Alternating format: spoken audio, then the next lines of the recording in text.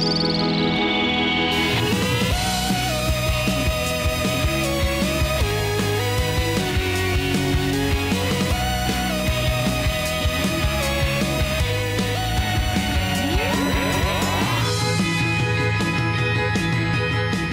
God of Love versus the God of War.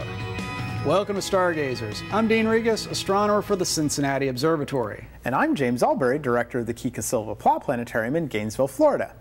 We always hear about the planets aligning, but we have something really special happening this week that we get to share with the red planet Mars. That's right, James. Mars, Venus, and Earth will be in just the right position that we'll get to see a Mars Venus scoochie. And if you're on Mars, you would see a Venus Earth scoochie. What are we talking about? Let's show you. As many of you know, the planets orbit the Sun in nested ellipses. Mercury being the closest planet to the Sun, then Venus, then Earth, and then Mars. As we travel around the Sun, we're all traveling at different speeds. The astronomer Johannes Kepler noticed that planets closer to the Sun travel faster than those further away. It takes Mercury only 88 Earth days to orbit the Sun, and Venus takes 225 days to orbit the Sun. Earth takes approximately 365 days, or one year, to orbit the Sun. Meanwhile, Mars takes almost two years to orbit the Sun. When we view the solar system from above, the planets look like runners on a racetrack with each planet in a different lane. On February 20th and 21st, Venus, Earth, and Mars will be arranged in such a way that we on Earth will see what most astronomers call a conjunction, or what we stargazers call a scoochie.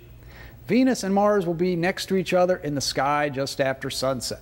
And if we had an observer on Mars, like the Curiosity Mars rover for example, it would see Venus and Earth next to each other in the sky just before sunrise. Hey James, let's do something on Stargazers we've never done before. Let's view the sky from Earth, mm-hmm. then take our viewers to Mars and view the same conjunction from there. Sounds like a splendiferous idea, Dean. Let's go. Okay, we have our skies set up for any night this week just after sunset facing west. Your attention will be immediately drawn to two bright, non-twinkling lights. The brighter of the two is our sister planet Venus, named after the Roman goddess of beauty and love. The dimmer and redder of the two is the red planet Mars, named after the Roman god of war. Mars will be up and to the right of Venus.